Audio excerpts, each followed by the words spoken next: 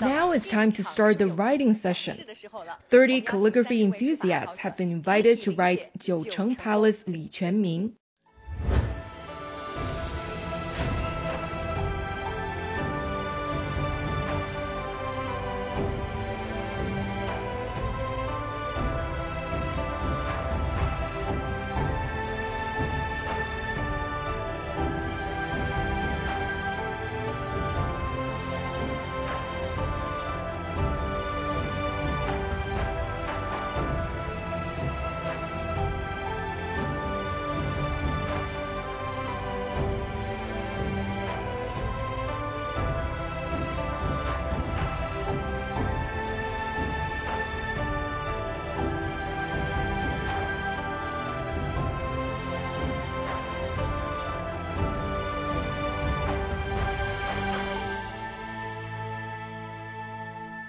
The dot stroke is like a rock falling from a cliff. The horizontal stroke is as wide as the clouds.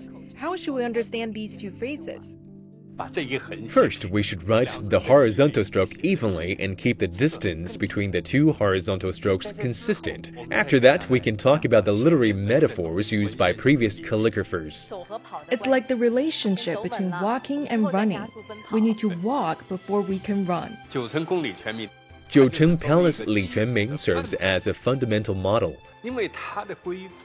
Its standardization, consistency, and repeatability have greatly benefited those who learn Chinese calligraphy.